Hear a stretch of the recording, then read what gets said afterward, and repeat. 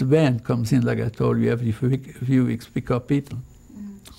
They have to, naked, everything, they have to live outside and to go in the van naked and yelling there, pushing them.